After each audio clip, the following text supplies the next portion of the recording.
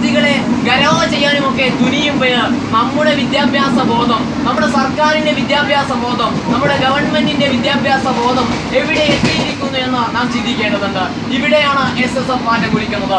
വിപ്ലവങ്ങൾ വിപ്ലവങ്ങൾ എന്ന് പറയുന്നത് പഠനം മുടക്കി നടത്താനുള്ളതല്ല. സമരങ്ങൾ പഠനത്തിന് വഴിമുടക്കാനുള്ളതല്ല. പഠിച്ചുകൊണ്ടാണ് ഏറ്റവും നല്ല സമരം നടത്തേണ്ടത്. ഏറ്റവും വലിയ സമരം അത് പഠിച്ചുകൊണ്ടാണ്. ഏതാണ് എസ് എസ് എഫ് സംസാരിക്കുന്നത്. എസ് എസ് എഫ് സർഗാത്മക വിദ്യാർത്ഥികൾ സാധ്യമാണ് എന്ന ശീർഷകത്തിൽ വരുന്ന നവംബർ പതിനൊന്ന്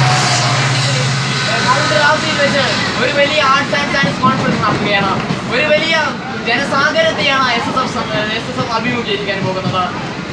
ചിന്തിക്കുന്ന ചിന്താശേഷിയുള്ള പഠിക്കുന്ന പഠനശേഷിയുള്ള കാലത്തോടൊപ്പവും കാലത്തിന്റെ ചതിക്കുഴികളിൽ നിന്ന് വീയാത്ത കാലത്തിന്റെ അരുതായ്മകളെ ഒട്ടും സഹിക്കുകയാത്ത കാ- കാലത്തിന്റെ തിന്മകളോട് പ്രതികരിക്കുന്ന ഒരു തലമുറയാണ് എസ് എസ് എഫ് വാർത്തെടുക്കുന്നത്. എസ് എസ് എഫ് നിങ്ങൾക്ക് നിങ്ങൾക്ക് അവതരിപ്പിക്കുന്നത്.